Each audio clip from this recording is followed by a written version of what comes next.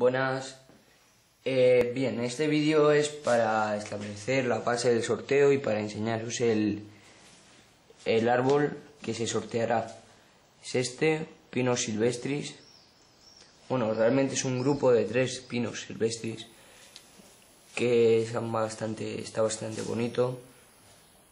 Y bueno, habría que darle algunos arreglillos, como por ejemplo erguir esta rama para hacer el ápice del árbol principal, cortar esta, bueno, dejar crecer esta e ir restando fuerza a esta otra para eliminarla finalmente cuando esta se desarrolle bastante porque es demasiado gruesa en donde está.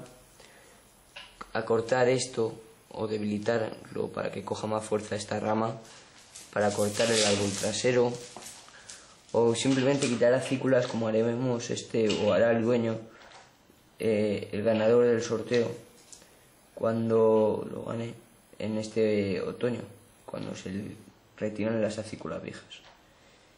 Eh, bueno estos trabajos eh, excepto el de acículas se podrían hacer ya pero no lo voy a hacer por, por el empaquetado porque si lo alambro con el empaquetado se va a mover, se va a cambiar el alambrado para, y para que vayáis practicando vosotros también o que hagan el, árbol con el alambrado. Eh, bueno, os cuento un poco sobre los cuidados. Pinos silvestres, es un pino. Tiene que estar en el exterior. Si tenéis patio, pues vale, le ponéis una mesita en un polleto, en una mesa que tengáis ahí, en el exterior, al sol, Importante, al sol directo, siempre. Y aunque hiele en invierno, lo dejáis fuera. No le va a pasar nada. Además, el sustrato que tiene esa cadama con un poquito de crío y va bastante bien. Eh, resiste mm, bien los, los secones. Vamos, que tiene que estar mm, días sin, sin agua o un día sin agua para que se seque, para que se resienta el árbol. Si no tenéis patio, pues lo ponéis en, en el alféizar eh, por la parte de fuera. ¿De acuerdo? No creo que se os vuele, muy difícil. Y bueno, siempre exterior. Es de cuidado bastante fácil.